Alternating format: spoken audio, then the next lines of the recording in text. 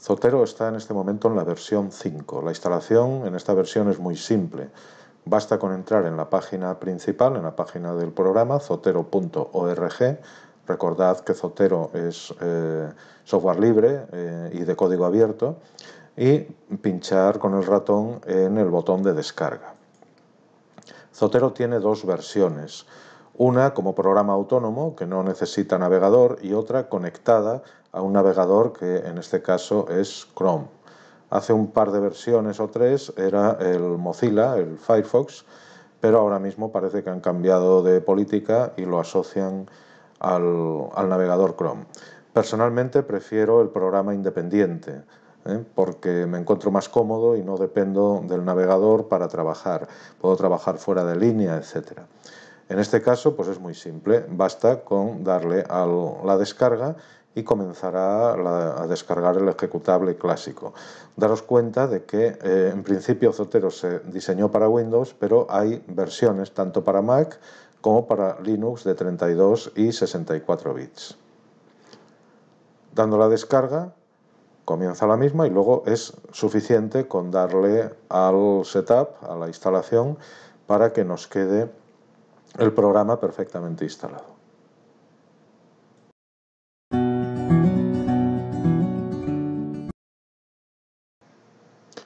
Una vez instalado Zotero, eh, abrimos el programa, la versión independiente, la versión autónoma, y nos vamos a encontrar con eh, esta pantalla. Eh, son tres paneles verticales por defecto, aunque se pueden cambiar de sitio, yo creo que no merece la pena, donde a la izquierda vamos a tener esencialmente una entrada que se llama Mi Biblioteca, yo lo tengo todo lleno porque, claro, llevo usando esto bastante tiempo.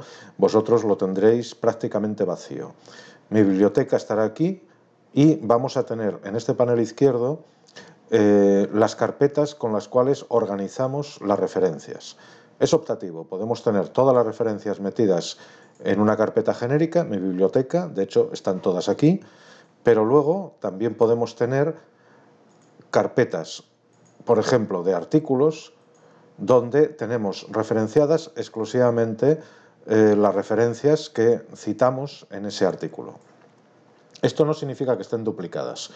La base de datos es única y lo que cambia es que un, artículo, un libro, como puede ser esto, esto es un artículo en una revista, como vemos aquí a la derecha, eh, puede estar en mi biblioteca, ahí estará siempre, y en una o más de las carpetas que usamos para organizarnos. Seleccionada esta carpeta o mi biblioteca por defecto, aquí tenemos un listado de referencias. Eh, estas referencias, fijaros, que pueden tener dos, eh, dos ítems, podríamos decirlo así.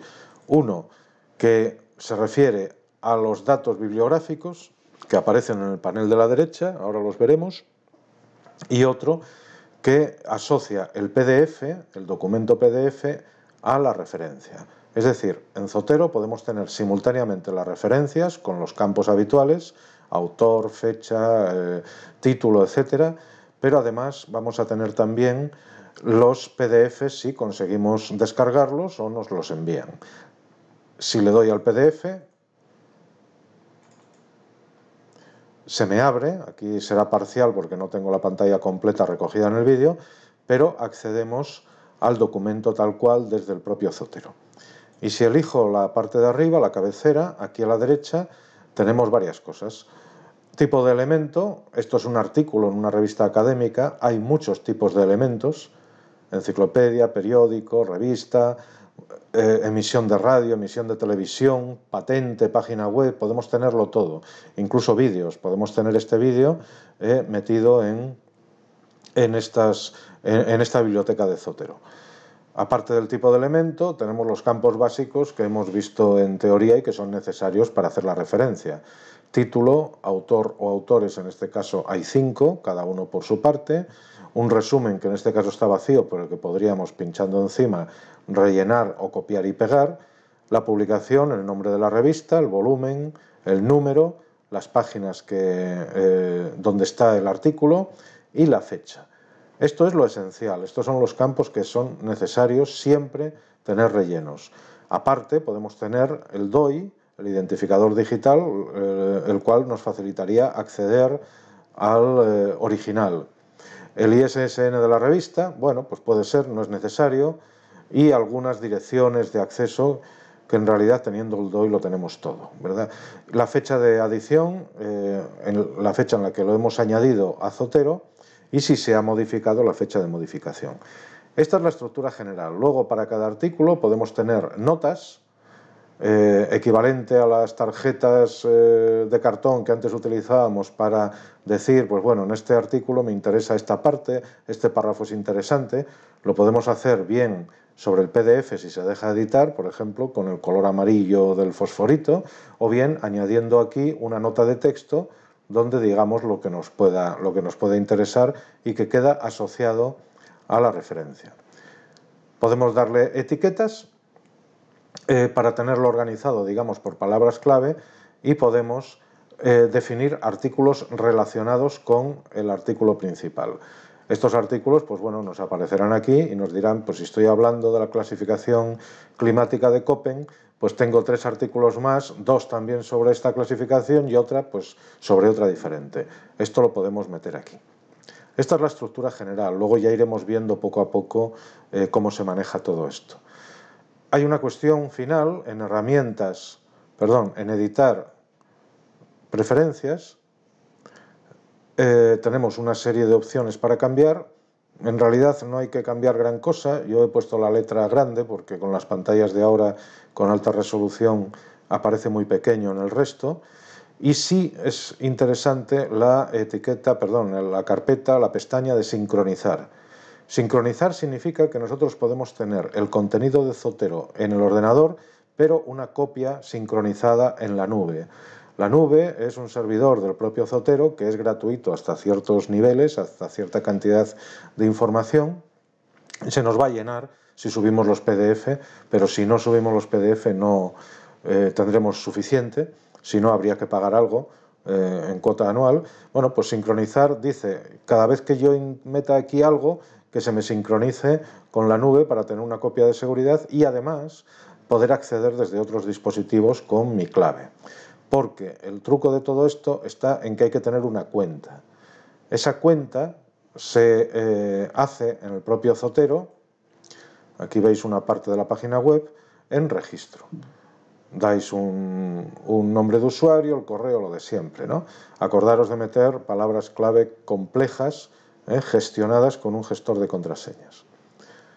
Visto esto, las preferencias y demás, en avanzadas hay otra cosa que puede ser interesante que es dónde queremos guardar la base de datos y los PDFs.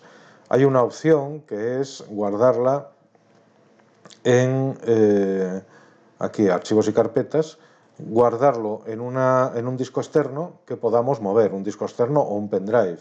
El pendrive en este caso es válido porque apenas se va a hacer operaciones de, escritura, con lo cual puede ser bastante sólido. Por defecto se guarda en usuarios, el usuario que, tuyo que estés usando en este momento, carpeta Zotero. Si queremos guardarlo en un disco externo, en un pendrive, usaremos personalizar y diremos dónde queremos que lo guarde. No tiene eh, más problemas.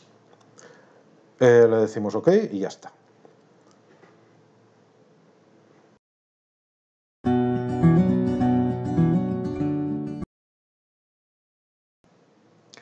Vamos a ver a continuación una de las formas de añadir referencias a Zotero. Para ello primero voy a crear una nueva colección con el botón derecho que voy a llamar, por ejemplo, prácticas.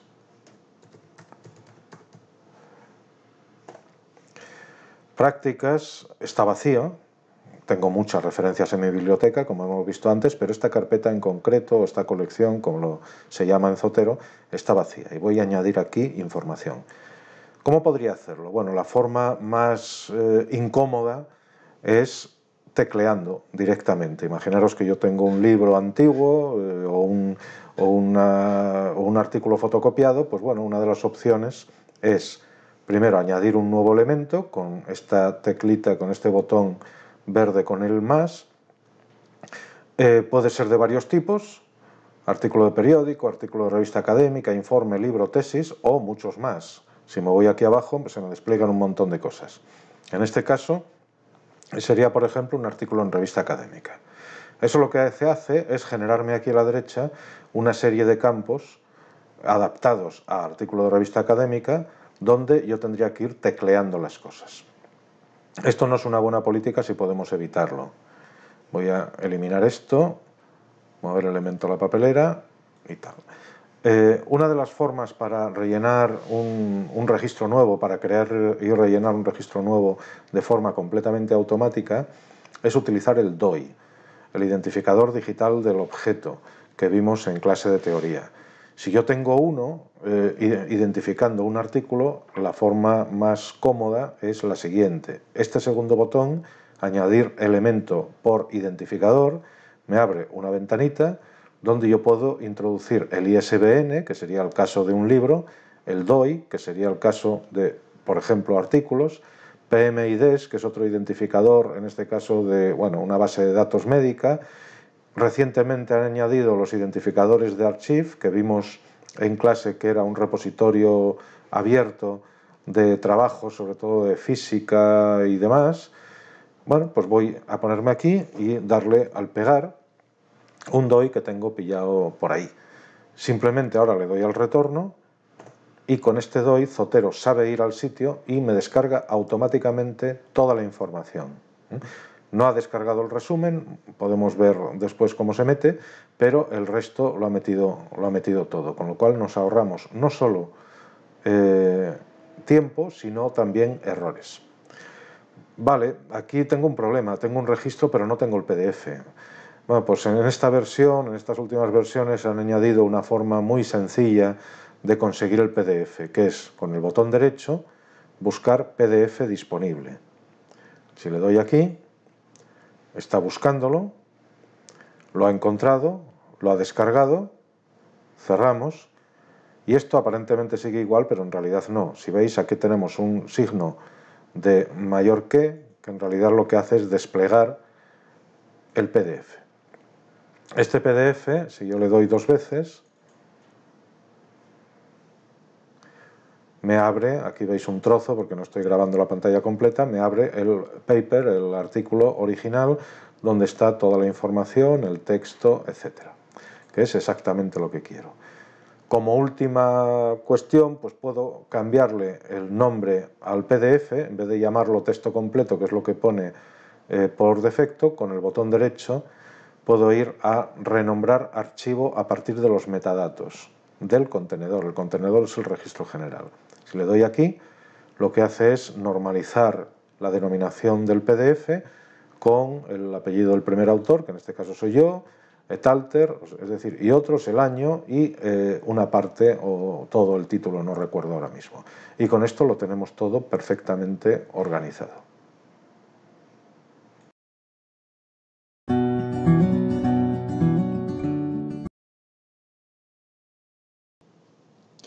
Una operación muy parecida a la anterior es eh, buscar la referencia completa de un libro.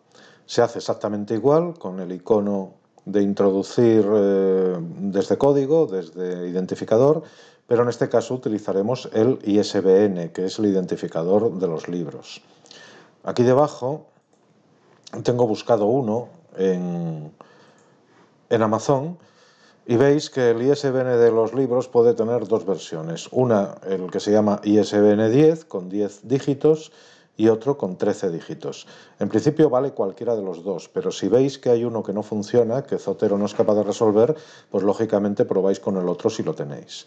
Voy a copiar el ISBN corto, el de 10 dígitos, voy a volver a Zotero y lo voy a meter en la zona correspondiente. Control V y ya está. Cuando le dé al retorno, me lo busca a una base de datos de ISBN y tengo aquí ya la referencia completa del libro con todos los datos, incluido a su vez el ISBN, que en este caso fijaros que me ha cogido el largo, el de 13, el de 13 dígitos. ¿Qué pasa si yo aquí a la derecha le digo que me busque el PDF? Pues que no me aparece. Eh, el tema está en que, claro, esto no es libre, no es como los artículos de revista, con lo cual si yo consigo el PDF o en otro formato, libro electrónico, EPUB, móvil o lo que sea, pues tendré que asociarlo. ¿Cómo se asociaría? Pues simplemente arrastrando desde la carpeta del navegador, desde donde tengamos el documento, arrastrándolo encima del título. Y en ese caso nos aparecerá inmediatamente una cosa parecida a esta. Con el ISBN podemos acceder en principio a todos los libros. Es cierto que a mí me ha fallado a veces los libros antiguos. En otro vídeo eh, os enseñaré cómo eh, meter los libros de tu biblioteca sin necesidad siquiera de teclear el ISBN de cada uno de ellos a través del teléfono móvil y una aplicación específica que lo permite.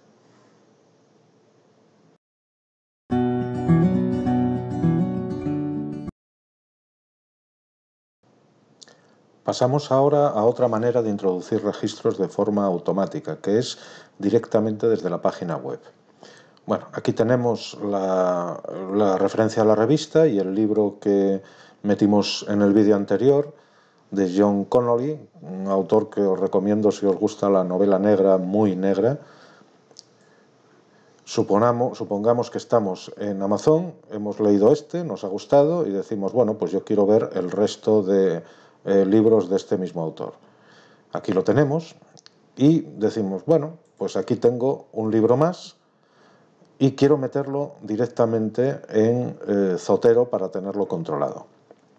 Podemos usar el sistema anterior, ir hasta aquí abajo a buscar el ISBN, es perfectamente razonable, pero aquí os quiero mencionar este icono que aparece aquí arriba.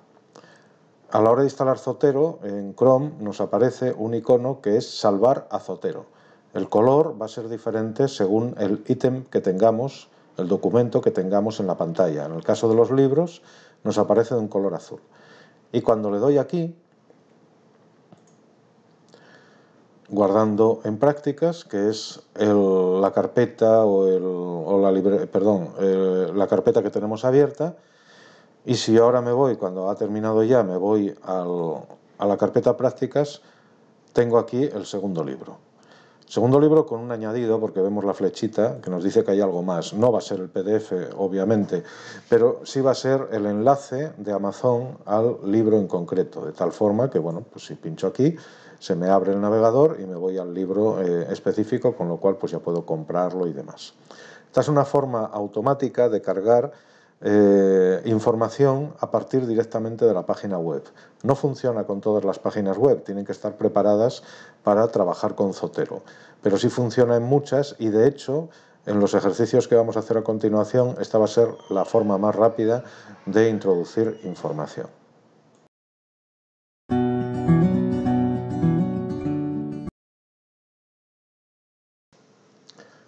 Una opción más, ya cada vez más interesante y para carga un poco más masiva, es utilizar la misma herramienta que vimos en el vídeo anterior, pero con varios, eh, varias referencias a la vez.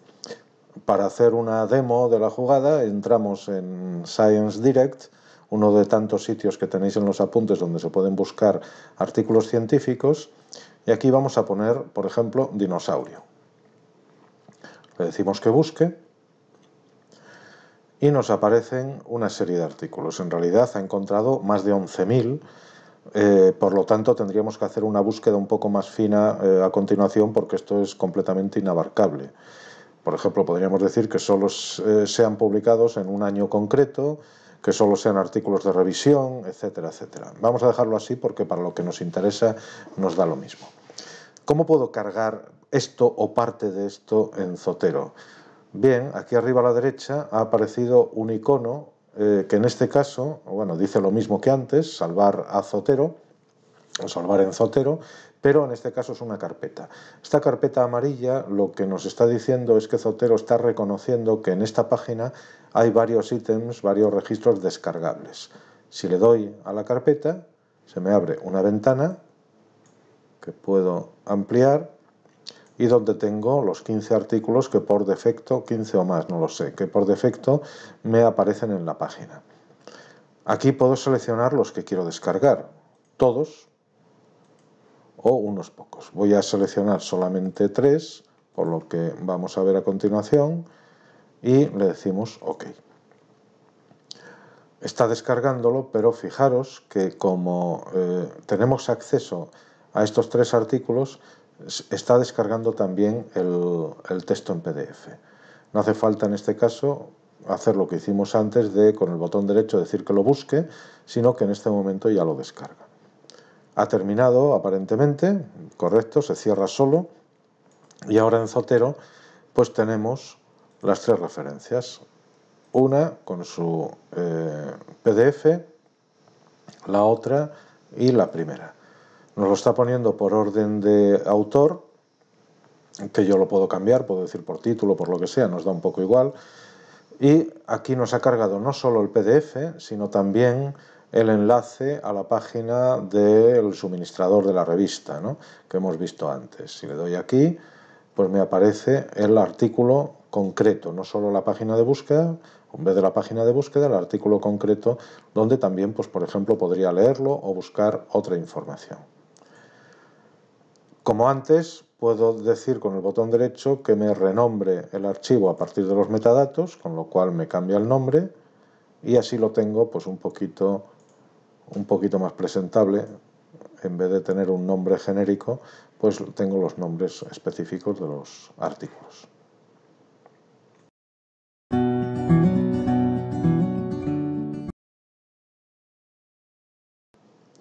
Vamos a hacer el mismo ejercicio que en el vídeo anterior, pero en este caso utilizando la Web of Science, que os comenté es el sitio eh, básico donde buscar artículos científicos, pero que no tiene, solo un índice, no tiene los PDFs que tendremos que buscar aparte. Metido aquí en la pantalla principal la búsqueda de sistemas de información geográfica, siempre en inglés, claro, no queda más remedio. Buscamos y nos aparecen 74.000 y pico artículos. El esquema es el mismo. Eh, aquí arriba tenemos la carpeta amarilla que nos va a dar opciones a la hora de elegir eh, qué queremos de esta página. Si no queremos ir de 10 en 10, pues podemos meter aquí que sean 25, por ejemplo. Actualiza solo y ahora ya tenemos, en vez de 10, pues tenemos 25 y así no necesitamos acceder tantas veces.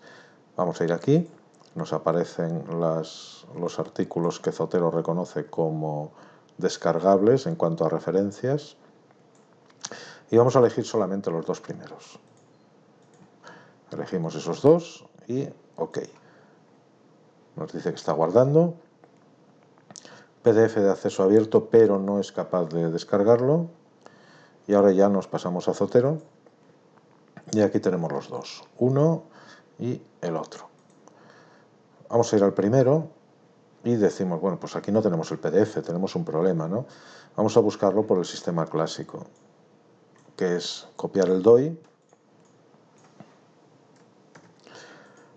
y meterlo aquí. Esa es una opción. Vamos a ver si funciona. Nos duplicará la referencia, pero bueno, borramos el anterior y se acabó. A partir de aquí intentamos buscar el PDF.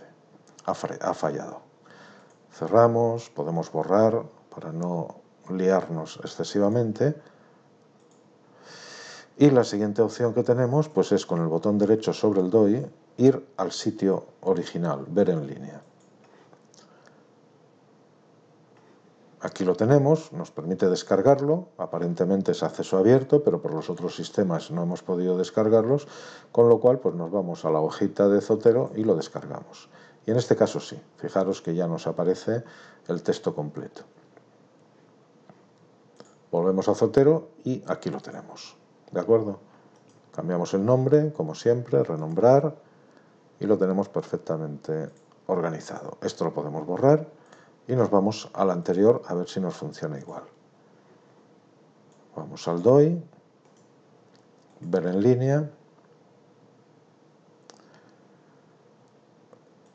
descargar en prácticas y en efecto también nos está descargando el texto completo en PDF.